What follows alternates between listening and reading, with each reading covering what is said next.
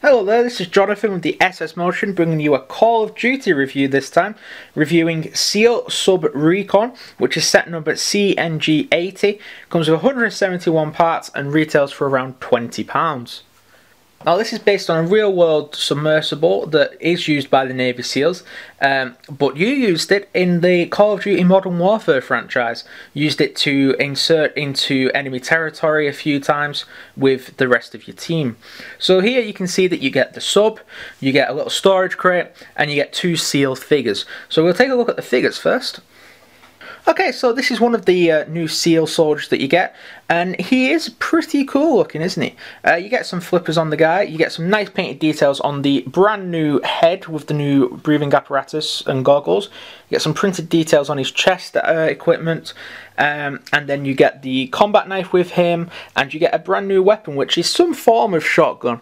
Um, Again, it uses the typical M16 M4 based central body. Comes with a new stock, however, and a new barrel area. Um, it looks to be a pump action shotgun. Maybe it's some sort of version of the SPAS 12. Who knows? Uh, we'll have to wait and see. Or if anyone knows, just let us know and I'll uh, update the video. So this is a recolor of the previous figure. Uh, again, you have some nice uh, painted details on uh, his apparatus, on his chest and on his head. Uh, but past that, like I said, it's pretty much the same figure in terms of sculpt and posability. Uh, the vest is removable as always on the Call of Duty figures. The flippers are removable. Comes with a combat knife, which is pretty standard to the Call of Duty line, and comes with a Vector, which is a brand new weapon and is one of my now favourite weapons in this line. So if we take a closer look at it in his hand, take it out. This is the Vector submachine gun.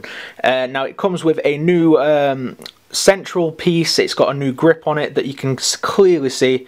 If I separate it has a nice uh, trigger guard on it. Um, so let's pull the weapon back together and we'll take a better look.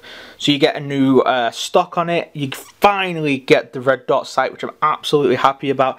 And you get a grip that can just slide off the front of the gun.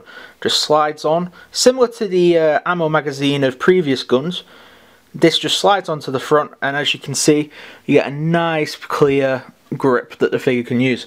Interestingly, there's a square slot here. Not sure what that's for yet, maybe future attachments, so we'll have to stay peeled on what comes out for the gun to add on to it. So taking a look at the main part of this set is the submarine and its little storage crate. Now this is a storage crate that we've seen mostly in the Halo line. It's in a bright red colour as you can see opens up, you can fit the flippers in there, and if you break the guns down, they fit in there, no problem. Uh, and I will show you where this goes in a second. So basically, this is the submersible. Absolutely fantastic detail. You got printed uh, caution striping along the side.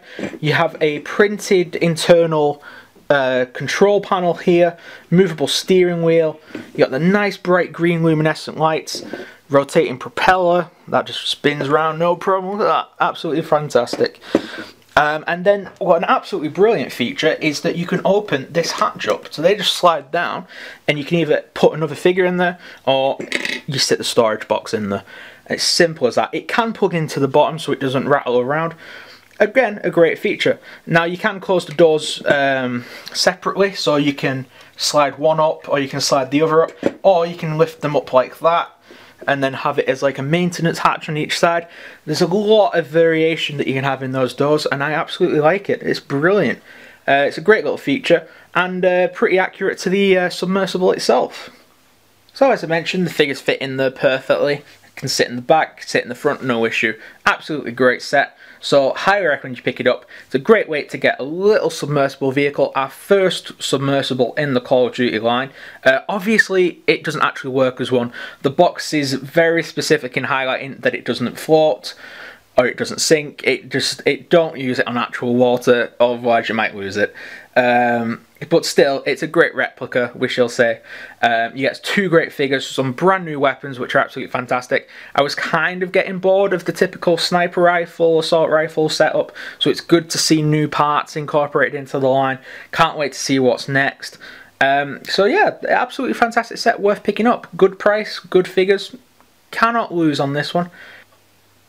So that's it for this review. I hope you've enjoyed it. Uh, we will be reviewing more Call of Duty, Halo and Assassin's Creed sets in the coming weeks. We're very excited with what we have to show you.